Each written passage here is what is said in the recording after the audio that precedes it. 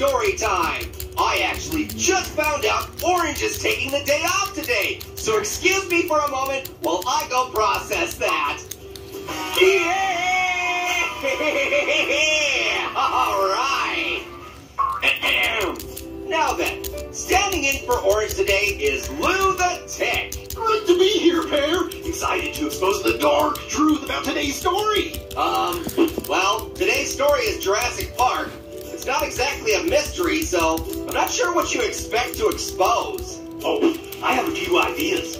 I'll say, your manifesto is longer than the book. You bet your ass it is. oh, great.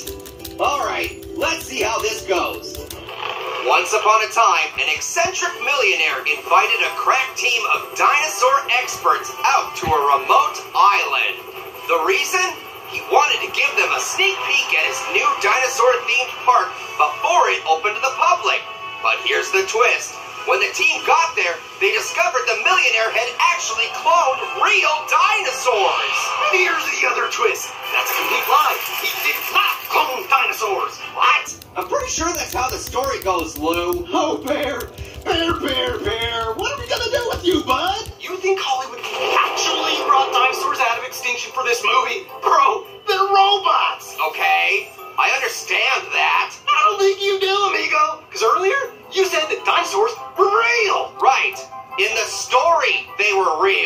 And that's where you're wrong. Because there were robots in the movie. There was some state-of-the-art CGI involved as well. Lou, I... Oh, bro, you are so lucky I'm here to dispel the misinformation for the audience. I can't believe you thought the dinosaurs in Jurassic Park were real. I don't think that. I'm working within the reality of the story, Lou. Sorry to break it to you, amigo, but Jurassic Park, it isn't reality. It's fiction. I'm aware. Jurassic Park doesn't actually exist. It is a made-up place. I believe it might even be a book. It is a book.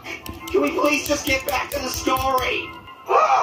okay, so on the first night, it began to rain hard.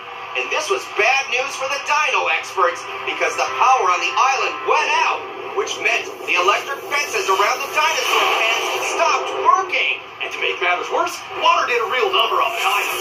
Again, they were actually robots. Dude! No, I'm serious. You ever see a robot get wet before? I have.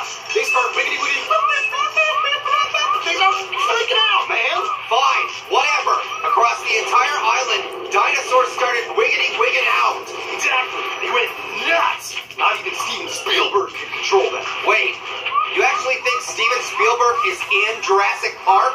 Um, he only directed it. Of course he was there. And yet, despite the dino robots going berserk and all that, nobody died. And No, not the end, Lou. A ton of people die in Jurassic Park. they're there. It was all fake. The quote-unquote lawyer who got eaten on the toilet. The so-called Nedry who got ink spat in his face. These are just actors. They're totally fine. Went on to do a number of other projects in their careers. You think I don't know that? Sure, you know it now because I've educated you. Ooh, okay, you know what? You tell the story. You mean it? Yeah, I can't wait to see how you tell the story of Jurassic Park without any suspension of disbelief whatsoever. It's not gonna be good. Of course it's not going to be good. It's going to be great. Okay, here we go. The year was 1993. Steven Spielberg assembled a crack team of thieves and liars. What? Some might call them actors or crew members, but the truth is, they embarked on a project to defraud and fool the general populace, all for the sake of making money. That's preposterous. Is it fair? Is it? First, they built some fake dinosaurs. Actors pretending to die from dino attacks. They recorded everything on a camera, and then they released the footage to the unsuspecting public actually paid money to watch Steven Spielberg's fake documentary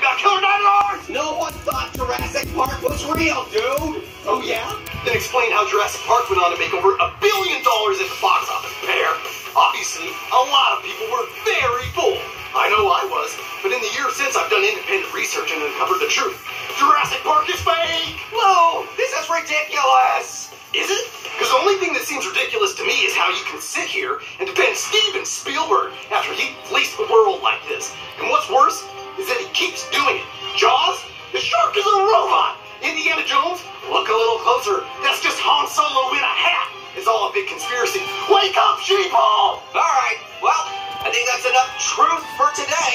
Thanks for watching, everybody. E.T., that's not what aliens look like. Believe me, I know. That's a puppet, amigo. Enough!